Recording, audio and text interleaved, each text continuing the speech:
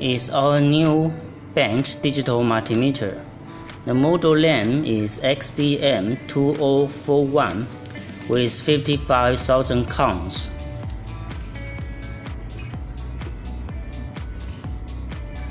Here you can test the voltage, the DC voltage and AC voltage with testing lead input here.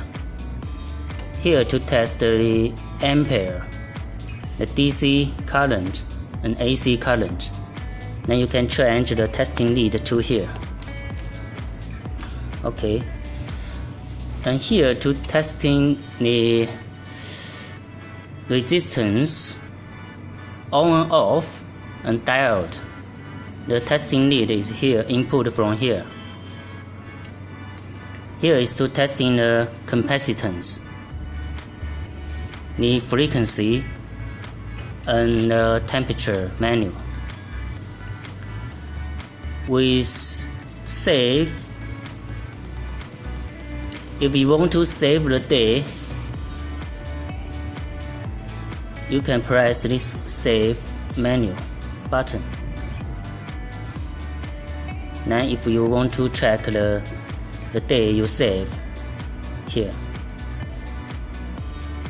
Then if you want to uh, recall the day,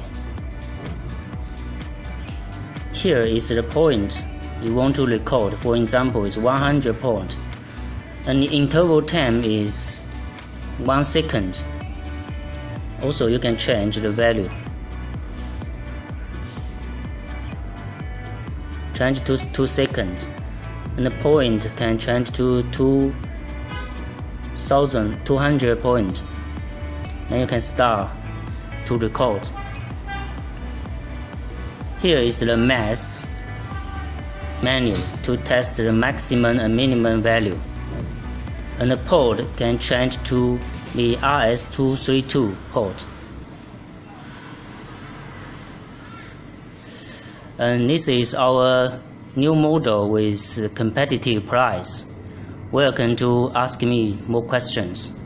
Thanks.